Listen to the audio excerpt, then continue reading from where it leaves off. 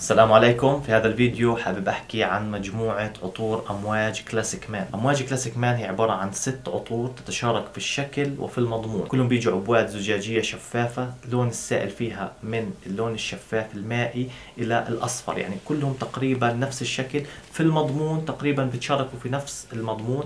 هي عطور زهرية عطور باودرية عطور كلاسيكية عطور niche من أجمل إصدارات أمواج وكلها إصدارات قديمة. يعني عرفت شركة أمواج من هاي العطور. تبدأ من عطور Silver Gold Dia Beloved و Reflection و Jubilation صراحة وبرأيي الشخصي كل عطر من هاي العطور أجمل من العطر الثاني.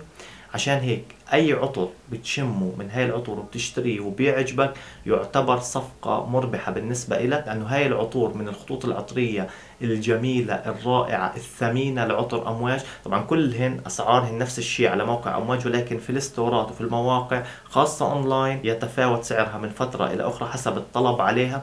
مرات بتلاقي عطر Reflection سعره 200 دولار مرات بتلاقيه 350 حسب توفره في السوق. هذا بأكده Lyric Man عطر Lyric Man في نهاية عام 2020 في العروضات كان سعره 200 دولار الآن مختفي من الأسواق. وبعض الستورات المتبقي عندها شوية من Lyric Man عرضته ب 450 دولار. فعطور أمواج حسب الطلب والعرض عليه. بضل عطر واحد من هاي المجموعة هو عطر Silver Man شركة أمواج ما بعرف شو السبب. شالته من موقعها الرئيسي مش موجودة لكنه still متوفر في الستورات still متوفر اونلاين العطر هذا ما في كثير حكي عليه. بحس إنه العطر حظه مهضوم شوي بين العطور. عطور النيش وخاصة عطور أمواج. ما بعرف عدم رضا أمواج عن هذا العطر شو السبب مع أنه أنا بعتبره من أجمل العطور اللي مرت على أنفي ومن أكثر العطور أمانا في عطور أمواج. طبعا هاي هي المجموعة المجموعة بتيجي شعار أمواج. هاي مش تقسيمات.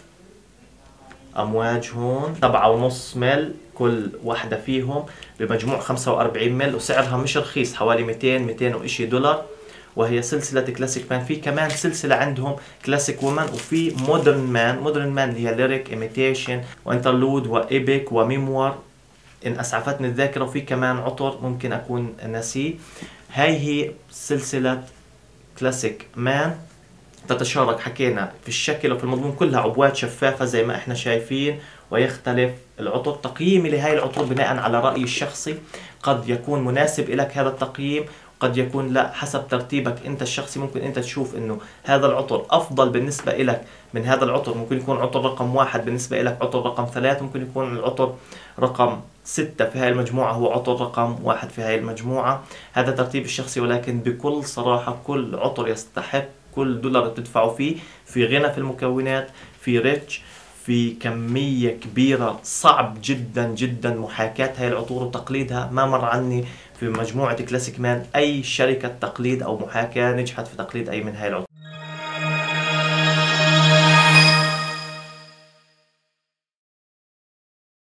عطر رقم ستة في هاي المجموعة وحسب رأيي الشخصي هو عطر Silver Man هذا العطر برأيي الشخصي من أكثر العطور أمانا في هاي المجموعة أو عطر من العطور الآمنة في هاي المجموعة لأنه في عندنا عطور آمنة وعطور مش آمنة.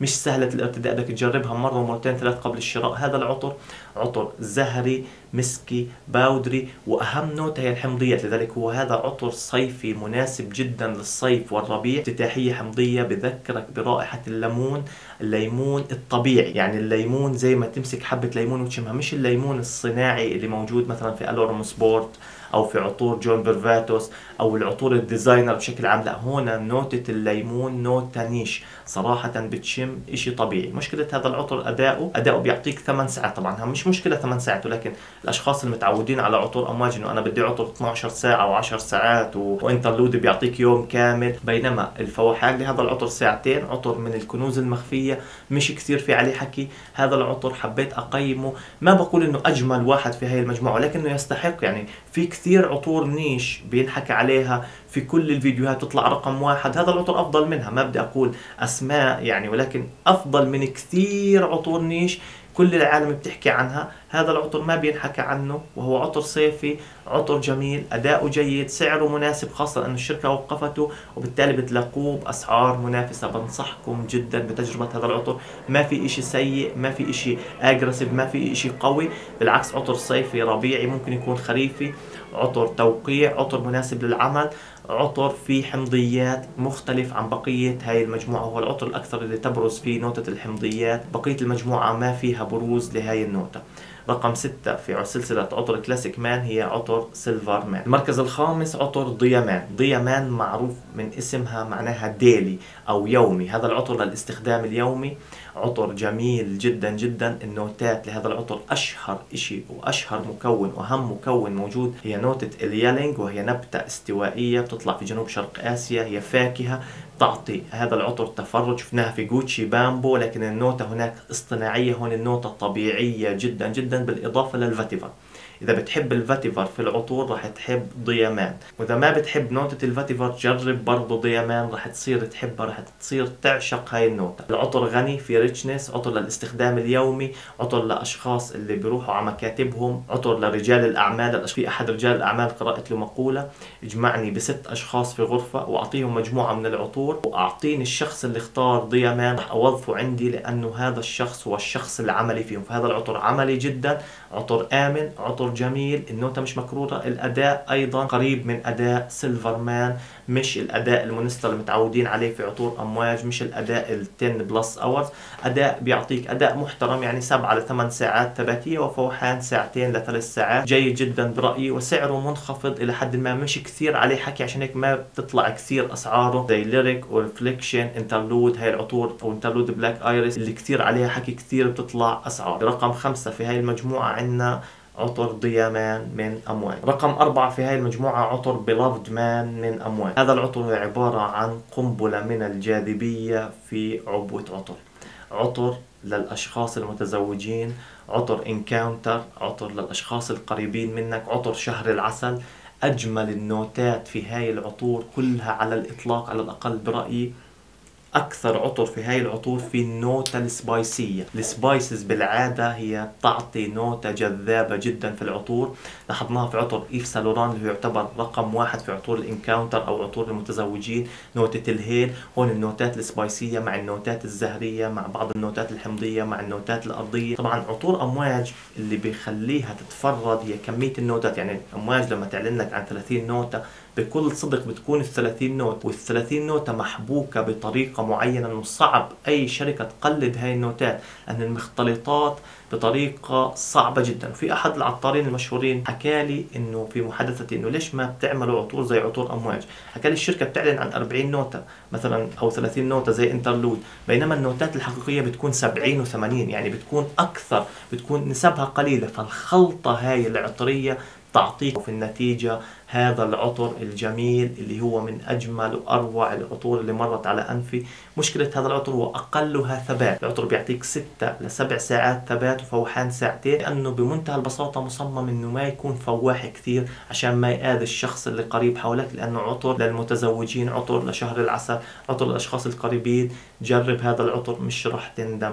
وأيضا كثير بسمع عن نسخة عمان نسخة بريطانيا. أنا شخصيا جربت النسختين. شفت إنه في تقارب كبير بين عطر امواج العماني والبريطاني يعني نفس الشيء تقريبا. ولكن في بعض الأشخاص إنه نفسيا برتاح للنسخة العمانية. إذا توفرت عندك النسخة العمانية اشتريها. يعني ما بحكي لك إذا عندك عماني أو بريطاني تروح تشتري البريطاني لا اشتري العماني. ولكن إذا ما توفرت النسخه البريطانية it's okay يعني الثنتين نفس الشيء حسب تجربتي وفي النهاية شركة كبيرة زي هيك رح يكون عندها ال product أو المنتج. هون مكونات وفي مكان آخر مكونات. يعني هيك بتضرب سمعتها. في المركز الرابع حل عندي أمواج Beloved Man في المركز الثالث في هاي المجموعة أمواج Gold Man هذا العطر مختلف تماما عن العطور الثلاثة اللي حكيناها.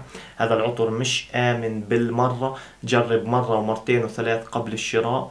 هذا العطر هو الأساس والفكرة لتأسيس شركة أمواج. بتوقع الملك قابوس الله يرحمه طلب من آه، أحد العمانيين أنه يصنع له عطر معين يكون متفرد. أو أحد الملوك والأمراء في دول الخليج طلب من الشركة العمانية اللي هي كانت أمواج وكان شكله يختلف كان بيشبه الخنجر العماني تماما. هي هسه شكل العبوة بتشبه الخنجر العماني ولكن كانت تماما تشبه الخنجر العماني. يعني خنجر عماني وفي جواها الجوس العطري أو السائل العطري. صمم له جولد مان في روايتين عن هذا العطر العطر صمم في الثمانينات وفي رواية ثانية صمم في التسعينات وخرج للاسواق في الألفية في ال 2000 2002 2003 هذا العطر هو عطر للشخصيات القوية. وأيضا يقال أنه هذا هو العطر الشخصي لبوتين الرئيس الروسي فلاديمير بوتين. العطر مش آمن عطر قوي جدا جدا جدا. المسك اللي في هذا العطر يتوهج بطريقة باودرية خاصة على الجلد. Gold Man اسم على مسمى عامل فيديو كامل عن هذا العطر بفضل إنكم تراجعوه. بيشبه إلى حد ما Chanel Number 5 النسائي ولكن بطريقة richness أكثر الغنى أكثر هون وامتزاج المكونات أكثر في عطر أمواج والعطر أكيد مش زي Chanel Number 5 النسائي. هذا عطر ذكوري جدا جدا جدا بيعطي بطريقة باودرية بيعطي بطريقة كلاسيكية بيعطي بطريقة جميلة. مش أي شخص بيرتدي هذا العطر بده قوة شخصية للمدراء لأصحاب الشركات للشخصيات المهمة. عطر فوق ال 35 أو فوق ال 30 minimum مش شبابي بشوفه. يعني مش شبابي كثير يعني teenager أو مراهقين. جربوا قبل الشراء أداء ممتاز جدا. فوق العشر ساعات ثباتيه فوحان فوق الاربع ساعات ما بفضل تستخدمه بأي فصل غير الشتاء والخريف أو في في أيام اللي بتنزل فيها درجة الحرارة في الصيف مساءات الصيف في الليل. أداؤه ممتاز سعره شوي مرتفع محافظ على سعره والعطر لك مديح جدا جدا.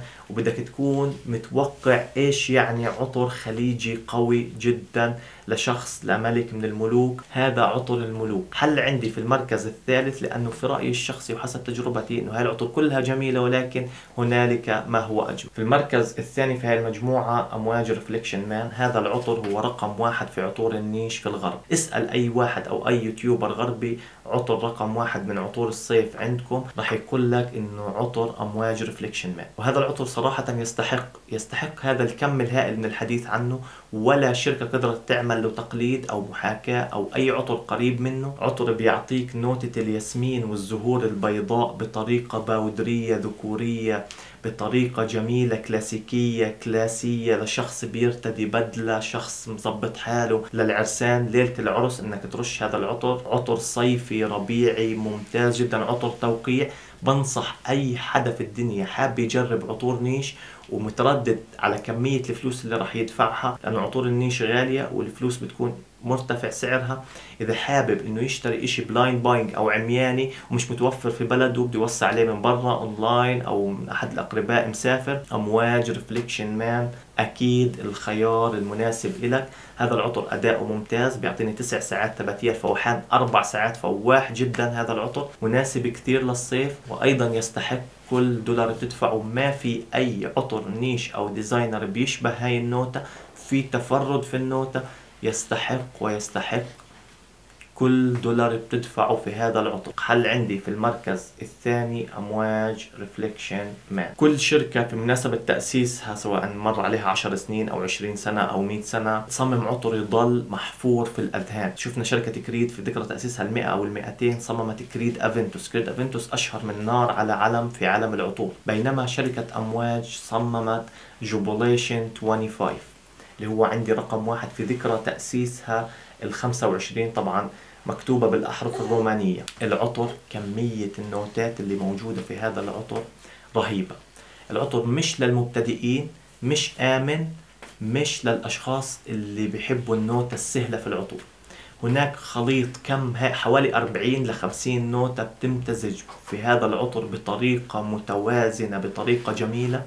من أجمل العطور عندي برأيي الشخصي شركة دبوا شركة niche إيطالية. في أحد عطورها بتوقع نيويورك ناسي الرقم ممكن أحط لكم صورته على الشاشة. صممت عطر بيشبه أو في منه من الخط العطري ل Jubilation 25 لكن سعره شوي أغلى من Jubilation بشوفه شتوي خريفي ممكن شوي ربيعي أكيد مش صيفي. العطر بتوهج powdery قوي ذهبي. كل المكونات اللي موجودة في كل عطور أمواج جابوها وحطوها في Jubilation 25 برأيي الشخصي إذا أنت بتدور على عطر آمن عطر سهل الارتداء عطر easy to wear عطر تحبه جميع الأشخاص اللي بحبوه حواليك ومعك مبلغ أنت مش جامع عطور. Reflection Man أو أحد العطور الكلاسيكية الأخرى باستثناء Gold هو بديل أو خيار مناسب لك إذا بتدور على التفرد نوتة ما حدا شاممها نوتة قوية بتحب العطور القوية أهلنا في الخليج خاصة بحبوا العطور القوية العطور المتفردة النوتة اللي ما في حدا شاممها نوتة المسك. بنصحكم جدا ب Jubilation 25 بتوقع المسك الذي يستخدم في عطور أمواج هو مسك طبيعي يعني ما في مجال إنه يكون نوتة أي نوتة synthetic أو اصطناعية في هذا العطر في النهاية هذا رأيي الشخصي ممكن أعيد ترتيب العطور بطريقة أخرى تناسب الناس. راح أحط Reflection رقم واحد وراح أغير الترتيب. إذا كانت على حسب حب الناس إلها والحكي عنها ولكن رأيي الشخصي وحبي الشخصي أنا بفضل جوبوليشن عطر يستحق كل دولار بتدفعه في هذا العطر. حاليا مختفي شوي من الأسواق بحثت عنه على أكثر من موقع عطور ما وجدته وبالتالي ممكن سعره شوي مرتفع هسه. نهاية الفيديو بشكركم على المشاهدة بتمنى تكونوا استفدتوا واستمتعتوا. إذا عندكم رأي آخر في هاي العطور طريقة ترتيبها بطريقة أخرى بتمنى تضيفوها في تعليق. شكرا على مشاهدتكم. بتمنى تشتركوا في قناتي على الإنستغرام في جروب تجارب عطرية